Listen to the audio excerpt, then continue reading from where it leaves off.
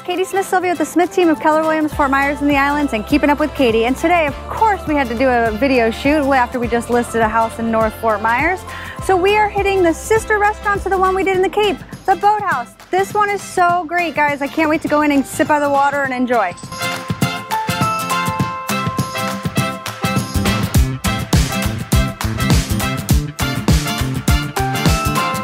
We had the island coconut shrimp, which was six jumbo fresh shrimp rolled in panko, toasted coconut. Excellent. Hot pressed Cuban, tasty, pretty darn authentic. And the chicken bacon ranch sandwich blackened with a side of cheesy grits. Awesome atmosphere, great food and music.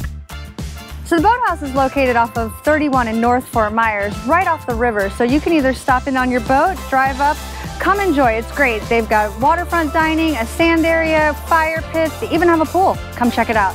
And again, if you need any help with real estate, give me a call, text, or email anytime.